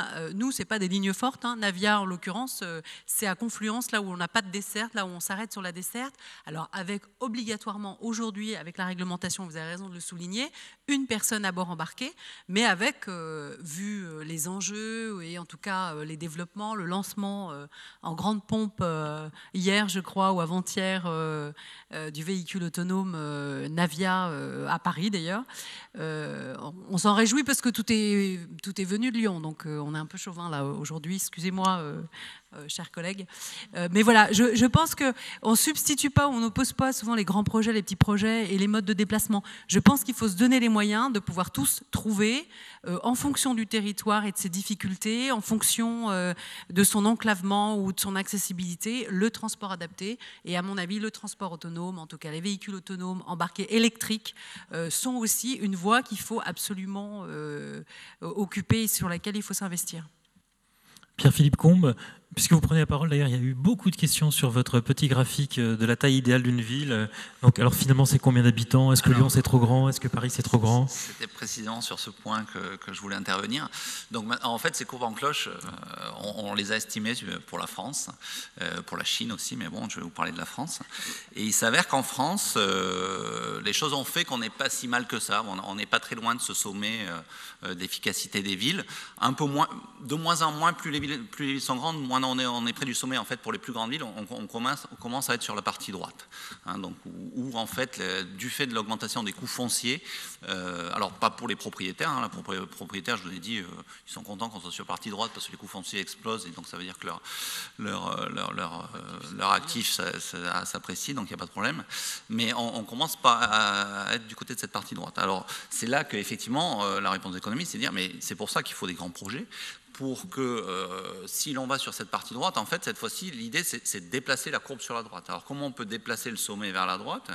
Euh, Alors, une solution serait, mais j'en parle même pas, hein, ce serait de revenir à l'Union soviétique des années 70 ou à la Chine et de dire aux gens, ben non, vous n'avez plus le droit d'aller en ville, euh, terminé, vous habitez à tel endroit, vous n'avez plus le droit de vous déplacer, c'est l'État qui décide où vous habitez et, c'est terminé, et on garde la, taille des villes actuelles telle qu'elle est et tout va bien. Malheureusement, non, l'urbanisation se poursuit en France et les décisions individuelles des ménages et des entreprises fait que les villes continuent à croître. Donc si, l'État n'intervient pas, on va être vraiment sur la partie droite de la courbe, euh, là, où les, gains, sont, plus que compensés par les coûts. Et donc l'idée des grands projets, c'est de déplacer carrément la courbe sur la droite. Et comment on fait ça? Justement, euh, dans les coûts, il y a les coûts fonciers, mais il y a aussi la congestion des transports. Et si on décongestionne les coûts de transport, ça revient à déplacer sur la courbe sur la, droite et donc à, rester à un point où les gains sont maximaux. Euh, il, y a comme je l'ai dit, l'important quand même, c'est les coûts fonciers. Et au-delà des grands projets, il y a une autre façon de faire, de faire que ces coûts euh, croissent moins, c'est la régulation foncière. Donc en France, au début du projet du Grand Paris, il y a eu des grands débats. On disait, mais euh, vous savez, dans la zone de Saclay, euh, où on va faire plein d'infrastructures de transport, il y a des champs dont la rentabilité agricole est magnifique et surtout, il faut continuer à produire des céréales à Saclay. non, surtout pas. Même si la rentabilité agricole est très bonne à Saclay, le fait qu'il y ait ces infrastructures qui rapprochent Saclay du centre de Paris, ben non, je suis désolé, euh, si, on a fait ces infrastructures, c'est pour y construire des bureaux, c'est pour y implanter des entreprises et les champs vont, vont, vont être construits et il faut qu'ils soient construit, sinon tous les gains du Grand Paris vont être absorbés par les coûts fonciers. Ce qui veut dire, et on revient sur le, problème du, rural, ce qui veut dire que cette disparition de ces activités agricoles à Saclay, c'est l'exemple type où c'est une très bonne nouvelle pour la Beauce, pour la région de Clermont-Ferrand, parce que ces activités agricoles vont se relocaliser dans ces zones-là et générer de l'activité dans ces zones justement moins industrialisées sur la base d'autres spécialisations. Donc ce que les économistes en, euh, soulignent, mais depuis Ricardo, hein, c'est que, cette spécialisation des zones fond, est, source de gains. On va spécialiser les zones en termes d'activité et, de cette spécialisation, des gains vont être induits pour toutes les zones, encore une fois. Mais bien sûr, on ne va pas faire euh, euh, le même type d'activité à Saclay que celle qu'on va faire dans la Beauce, mais, tout, le monde, tout le monde y gagnera.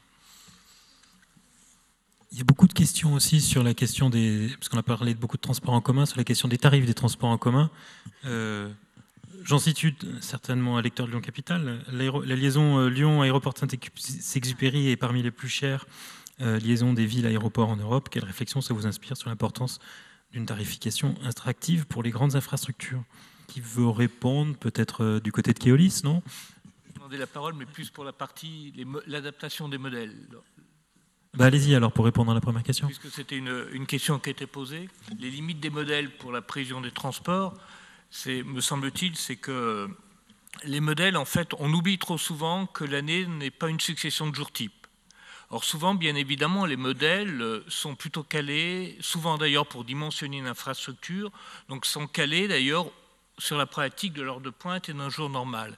Le seul problème, c'est que la respiration, le rythme d'un territoire, sa respiration, elle varie selon les jours.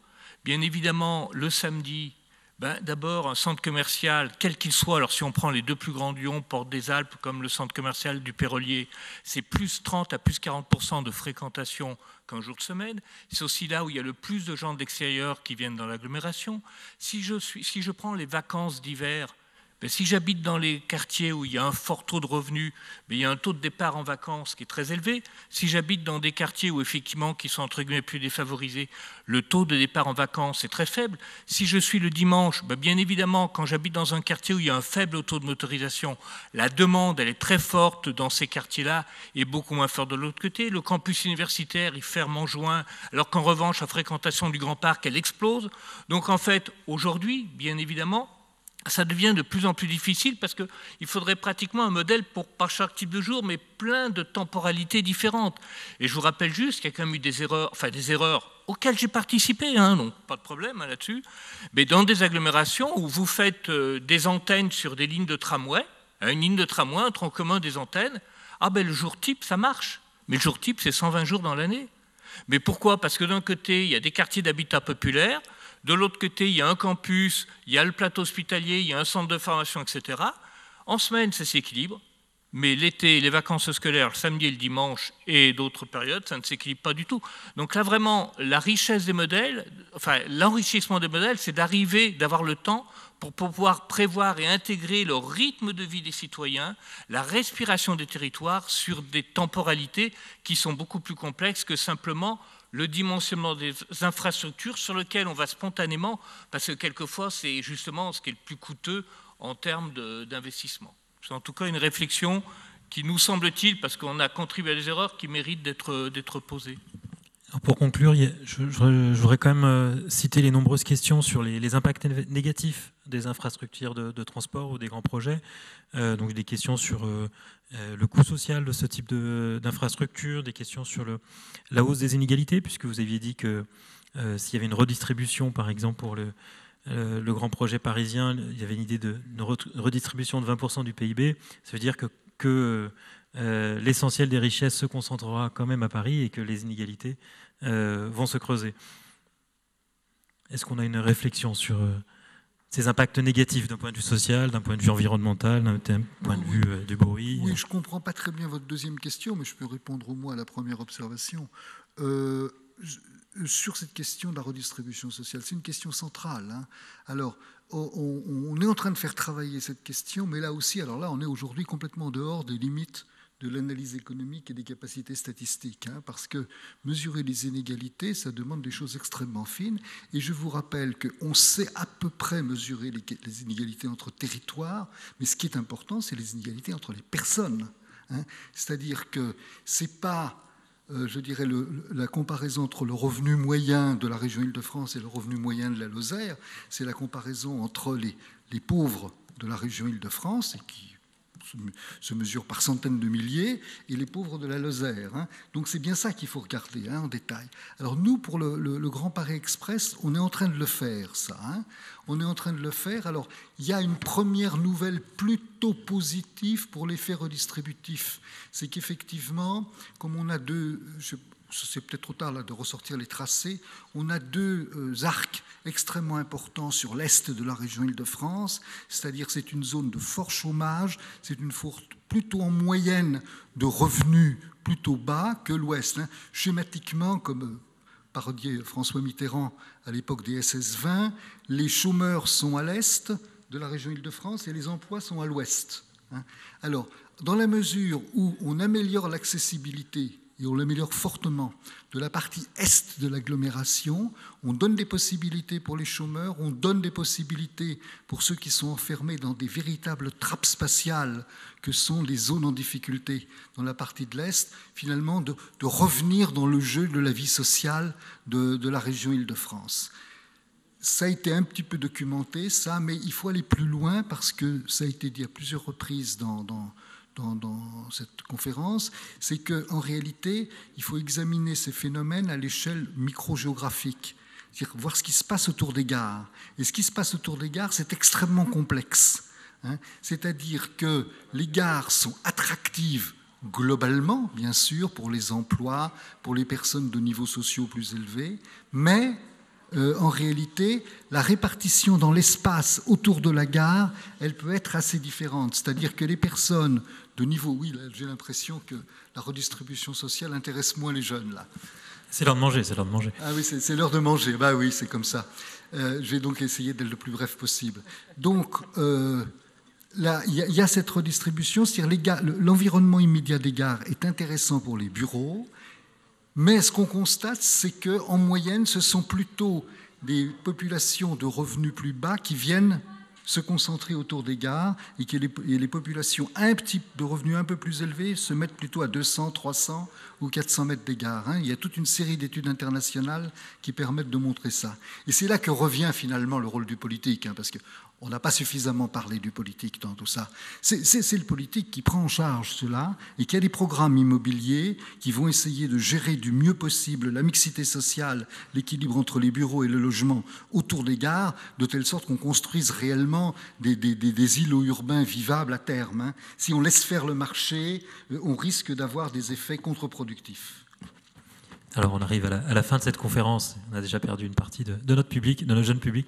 Euh, Fouzia Bouzerda, pour un mot de conclusion oui, euh, simplement dire que ces grands projets euh, ne doivent pas être vus que comme de l'attractivité en, les opposant à de plus petits projets ou à ce que serait la qualité de vie ou le logement. C'est ce que je me suis évertuée à, tenter d'expliquer, euh, alors dans un format quand même un peu court, mais où bien évidemment, quand on développe l'attractivité d'un territoire et qu'on fait monter les loyers, parallèlement, enfin en tout cas le coût du foncier, parallèlement, par anticipation, une collectivité comme la métropole a des outils de réserve foncière euh, pour pouvoir construire du logement social abordable, euh, à des organismes dédiés, euh, à des zonages spécifiés, par exemple sur le plan local d'urbanisme et de l'habitat, pour pouvoir permettre à des personnes de se loger en cœur de ville, encore décemment, Confluence est une illustration euh, de la politique très volontariste parce que vous avez concentré ici énormément de logements sociaux, en tout cas dans le cadre des objectifs que la loi euh, impose euh, aux communes. C'est pareil pour le transport. Le transport en commun, vous avez des tarifs sociaux qui permettent à ceux qui sont les moins favorisés de se déplacer. On a parlé des grands projets structurants, notamment de transport, mais on a aussi des lignes de quartier, hein, des navettes qui permettent de desservir jusqu'au plus proche. Euh, et donc, euh, bien sûr, la qualité de l'air, bien sûr, la qualité de vie. Et tout ça fait que ça, suppose euh, d'avoir ces grands projets, parce qu'on est sur cette thématique, mais d'avoir présent à l'esprit que, au même titre que les schémas d'énergie, on fait les schémas des solidarités, on fait le, plan métropolitain d'insertion pour l'emploi, et qu'on a à cœur justement de se donner les moyens d'anticiper et de permettre à chacun de trouver son équilibre, de profiter des richesses, en tout cas d'apprécier la vie sur un territoire qu'il a a priori choisi. Voilà. Merci à tous. Et puis, bonne continuation pour les journées de l'économie vous retrouvez sur le site des GECO. Vous retrouvez aussi des entretiens sur le site de Lyon Capital.